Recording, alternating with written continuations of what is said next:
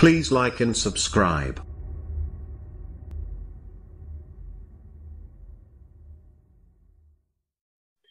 So, welcome back, Arcade. And well, this is part three of my Max Spiers investigation. I hope you've enjoyed parts one and two so far. Um, this angle is going to be the BBC coverage and how they covered his life and his death um, and everything they said leading up to his death. So we're going to jump straight into this one. Um, there's not a lot I've got to say at the start. I mean, I should have said enough in parts one and two already. Let me know what you make of that. I'd love to know any feedback you've got on this case, or whether you'd like me to continue investigating this case, or any future cases you might want me to investigate. It's all good. I'm all interested. Okay. So I'm going to share the screen with you all right now. Okay. Going to get to part one from the good old Beeb, the British Broadcasting Company. And here we go. I hear this uh, sound frequency coming from the television that completely um, messes with my pineal gland. What happens is it releases the um, coiled serpent or the kundalini, which is at the base of the spine. Max Spiers was a conspiracy theorist. He died in July 2016 on. Okay, straight away, I've got to say, coincidence theorists are more of a threat than any conspiracy theorist has ever been. Um, conspiracy theorists use the term loosely, really. If it is just theories, then yeah, it's probably a conspiracy put together by more than one person. Um, you know, but facts are facts, and Max certainly came with a lot of those, in my opinion. He came with a lot of those. And what he was saying about the Kundalini rising right at the start is amazing. If you remember the foundations of my channels, that's what my first couple of videos were all about. They were about raising the vibration, they were about semen retention, they were about eating healthily, they were about becoming a better person, potentially the best version of yourself that you could possibly be. And I'm pretty sure that's what Max was working at, being an ascended master, basically. So here we go. He died in July 2016 on a Poland in sofa. Now, how many young men do you hear of that happening to with without a reasonable explanation? I've had one comment already saying it was more than likely poison, which makes more sense because of the black vomit, but let's see. A sofa in Poland, 1,000 miles from his home in Canterbury. He was 39. Seven months on, and how he died remains a mystery. You don't just lie on a sofa and die.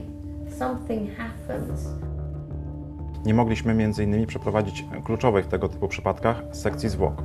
Stories keep growing amongst conspiracy theorists about the role of satanic cults or aliens, and that Max knew more than he should have. When I met him in, in Canterbury, we were being tracked by at least four pairs of agents. Whispers about a death involving black vomit and strange rituals have catapulted this previously little known conspiracy theorist into the spotlight.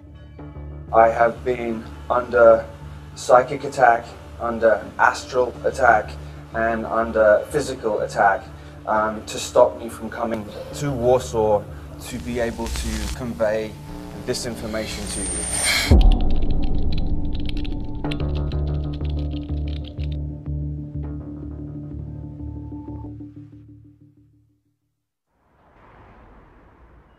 Wish they'd stop saying conspiracy theorist, by the way, man. I take high offense to that. Anyone who's using that term is a coincidence theorist, and I don't believe in coincidences, just like you don't believe in conspiracies. So here's my middle finger, and it's stuck right up.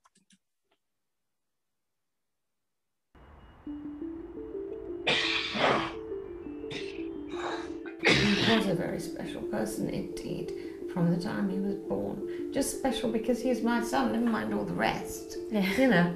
March of 2008, um, some strange things started happening, happening to me. Um, I had some extremely vivid dreams, and then I got uh, taken out of my body and shown that uh, my life as I thought it was was not what I th- quite thought they were. Part of the world that he was part of, he saw a lot of good and a lot of light. He believed we were in an era of enlightenment. and that it was almost like a renaissance happening here. There were those who would not wish for this to be so, that the last thing that they wanted was enlightenment and they wanted to keep people closed and in place. And that is what he saw as the darker side. He thought that possibly the more he spoke out, the more dangerous it became. He said, If I don't survive this, Mum, then you have to make sure that you look into it. I don't even know if it was the people or if it was going to Poland. I, I don't know the answers, but something changed. Some great questions there. Is it to do with the people he surrounded himself with? Is it to do with the fact that he went to Poland, which I've been asked by one of my followers this morning? She said, Why go to Warsaw? Now, I've been led to believe that um, he had friends over in Poland and he'd been staying with them, specifically a lady named Monica. And every time Monica, um, well, someone wants to question Monica, she's nowhere to be found, which is highly suspect. And I think even the BBC cover this person. So that's another person I'm suspicious about. So there's quite a few so far. Somehow he got connected with a darker side. I love this 90s. Oh, it's gorgeous. 90s curtains. I know. Gorgeous.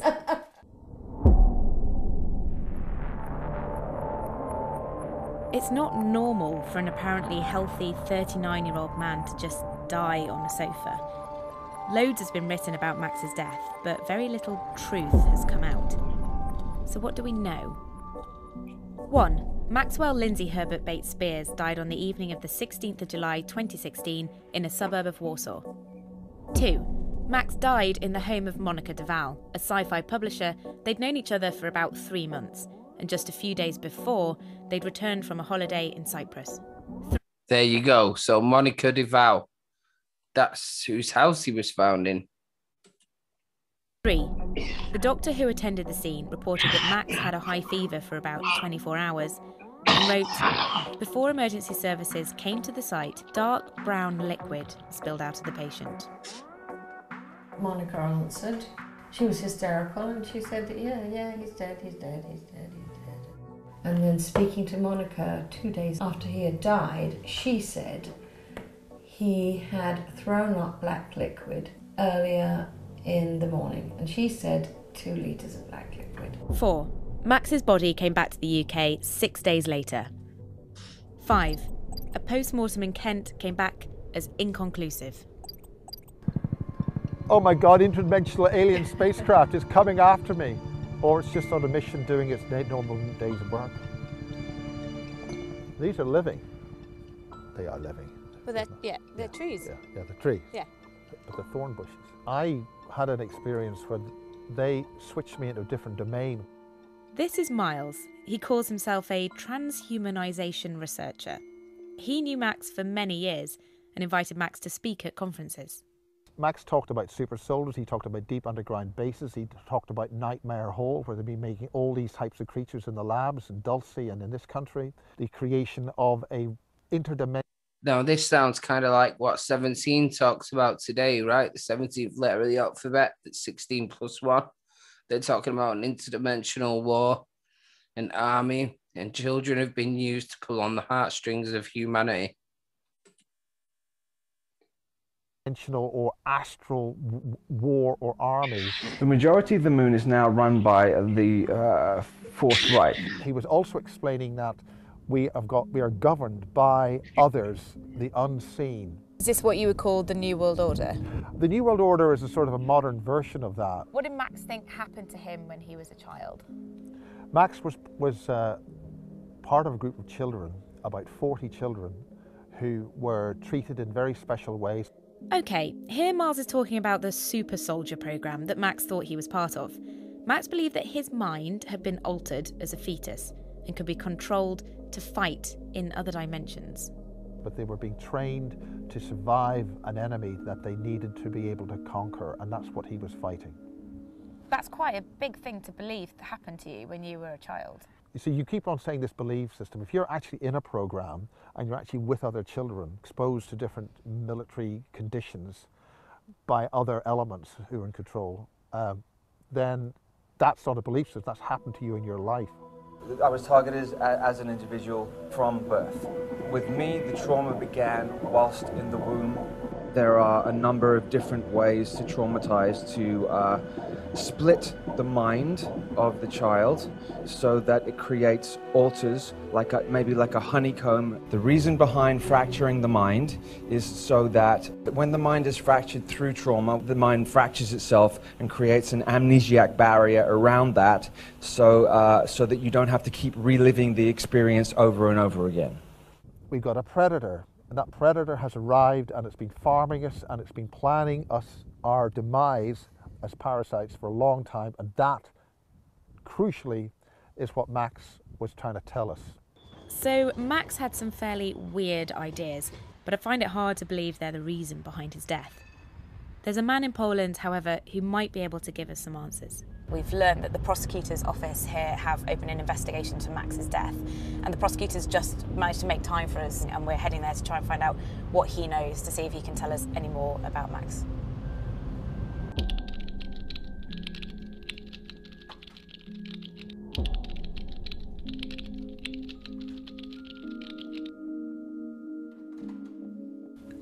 obviously it's very early in the investigation, but what do you know? What are the facts for you at this stage? E, na tym etapie ustaliliśmy, że e, załoga pogotowia ratunkowego została wezwana e, przez partnerkę pana Maxa Spearsa. You said partner of Max Spears. Z naszych informacji wstępnych wynika, że była to partnerka pana Spearsa, Natomiast te okoliczności będziemy, tą relację będziemy, charakter tej relacji będziemy ustalać w toku śledztwa. E, lekarz po przybyciu na miejsce podjął czynności reanimacyjne, zakończone niestety niepowodzeniem. Wobec takich wniosków lekarza w dalsze czynności na miejscu nie była angażowana policja. Informacja o śmierci pana Spearsa do prokuratury dotarła dopiero 30 sierpnia tego roku. E, kiedy już ciało zostało przewiezione do Wielkiej Brytanii, nie mogliśmy innymi przeprowadzić kluczowych w tego typu przypadkach sekcji zwłok. The prosecutor told me he plans to interview everyone that was present when Max died. We know Monica was there, but it's unclear who else was around, and he won't give me names. Okay, dziękuję, Łukasz. Why? Why won't he give names of the people who were there? So I'm not accusing Monica of doing anything. I'm just saying she was at her gaff this is the friend that he'd gone to stay with in Poland. Um, so why on earth aren't we allowed to know who else was around at the time? If he was indeed pol- um, poisoned, then maybe one of those people um, was involved. I don't know. Let's find out. So, more gaps in the story, and gaps and rumours fuel great headlines.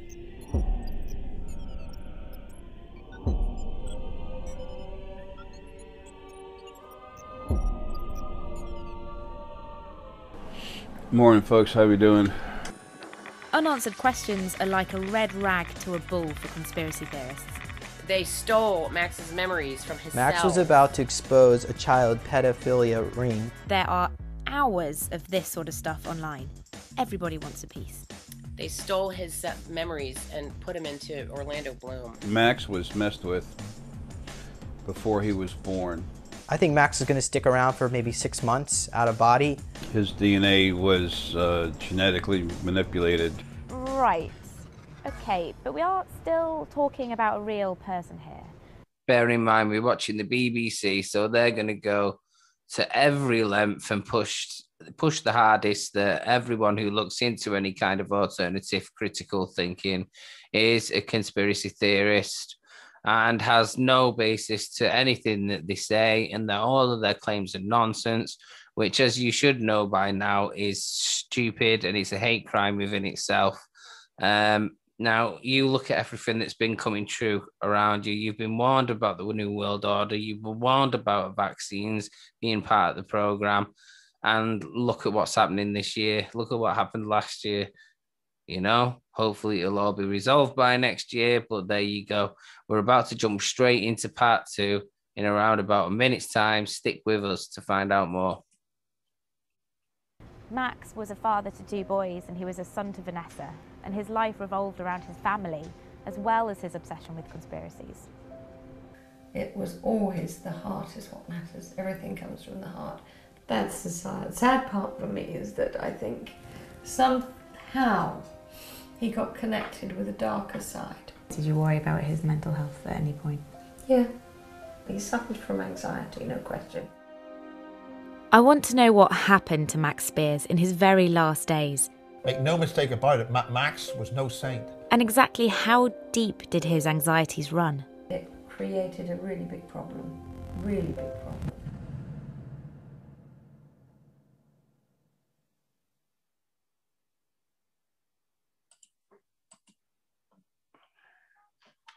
And here we go with part two. There are a number of different ways to traumatize, to uh, split the mind of the child. Max Spiers, a British conspiracy theorist, died on a sofa in Warsaw, Poland in July 2016. How he died is still a mystery. Max was obsessed by conspiracies. But was something darker going on in his life?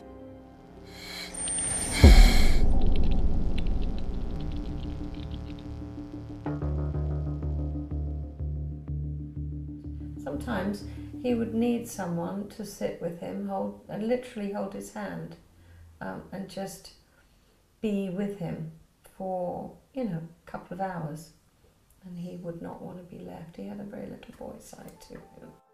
Now, I'm sorry, if that was my son, then I wouldn't rest until I had every single answer as to what had happened. His mum seems awfully complacent. I mean, all the respect to the Spiers family, um, Bates Spiers family, I should say, and also to his mother. But it just seems strange, man, especially considering all this trauma that he talks about that began in the womb. One night, a boy was sleeping and he saw light beaming through his window. Wait, they used to look for flying saucers out the window. My dad lived in Broadstairs over the ocean, and he bought beautiful um, the big binoculars, and they used to look together. He looked up and he caught a glance of a flying saucer. The mountain he got up and went to look what he saw. There was this program called Monkey Magic when he was a little boy. He would imagine himself to be Tripitaka, who had the Buddhist power, and he saw himself as that. So he was showing interest in otherworldly stuff. The women coming out were people, but I noticed they had a sort of V shape on the neck. I ran home to tell anyone. Next morning, I found out they were from this earth, that they had been bitten by some sort of creature. I remember seeing a lot of witches. I would be taken out of my bed. I'd sort of float up above my bed, through the roof of the, the house, up further and further, and then I'd go through a set of black clouds. And when they were bitten, they were, they, they were brainwashed. So he would make me laugh all the time. We would have, we would play little games. There was a fatherly bit to him, wasn't there? Yeah, He there was a definitely a protector fatherly, absolutely a protector of me. He was he was absolutely outstanding to me. Me and him were me and him were, were incredibly close. I mainly think about him the most when I'm by myself. Actually, that's kind of the, one of the hardest things is when I'm alone. He was very very charismatic. He wouldn't he, he wouldn't he wouldn't like hide his beliefs. He would um try and put it out there. It's one of, it's one of the main things I, I really loved about him. People were really fond of Max. He always seemed to leave an impression. Miles first met Max at a super soldier conference in Nevada, and they became good friends. Well, I do interviews, and rather than setting it all up and having tripods over the place, when I built this place, I um, decided to put this lighting grid on it. I can make it do different colours. Do you ever have a disco in here? Oh, yeah. Yeah? Let's think of some horrible ailment that you might have. Backache, yeah? Yeah, backache. It won't take a second. Is it say? Forewarned is forearmed, Miles. What's going to happen? Well, what will happen is you will feel a sensation. Program running. Soft start. It's actually quite expensive. That. Whoa, whoa, that, ow, ow, ow, that one's stronger. Oh my god, that's really strong. I can like see my skin Yeah. moving. Yeah. Is it helping you back? Um, no, I can't feel What's- any change in my back. What's actually happening is that your hair is progressively turning into a curly redhead. Perfect. I've, ow, I've always wanted to be a curly redhead. I'm gonna put these down. Okay. Yeah, yeah. Max's friends who shared his beliefs definitely read more than others into Max's thoughts and behaviours, particularly when he lost control. Max, on one level, is an extremely intelligent, erudite, fun guy, in love, loves the loves the birds, great guy. Make no mistake about it, Ma- Max was no saint. He he did he did some recreational drugs. He drank like hell, and and he had a good time. Now, when I met Is that a problem? I'd say saints were uh, capable of having a drink and taking recreational psychedelic drugs. I mean, wasn't the cannabis found on an extremely old um, stone in Israel? I'm pretty sure I read that at one point. And and this Jesus, Jesus slash his real name, Yeshua, uh, would have been healing with stuff like cannabis anyway. So I'm not just cannabis, man. I'm pretty sure mushrooms were growing back then and all sorts of different naturally occurring psychedelics like dimethyltryptamine, etc. But it is what it is. I'm not the judge. Apparently, other people are, but that's not true either. There's only one judge and there's only one God, and his name ain't God. That's Gadriel, or Government Ordinance Department, or Gold, Oil and Drugs, GOD, or GAD. I'm not uh, acknowledging him as that. I acknowledge him as Jehovah. I acknowledge them as the Elohim um, slash Yahweh. At him in, in Canterbury, we were being tracked by at least four pairs of agents. But there was one particular guy who was uh, making a big show of walking around the place. And he actually did a thing called Trigger Max. It was one of the things, that, this is the whole point about these children, is that you can program a person's personality What so they behave in different ways according to what you Yes, want them and to with do. a trigger word, with which is what's called called a trigger word, bingo, they will switch. Miles is suggesting here that Max, if I've got this right, could be switched on and off into different states by unknown people. He even goes on to suggest One of the signatures of programming is addictive behaviors. Mm. What's Max's relationship been with drugs?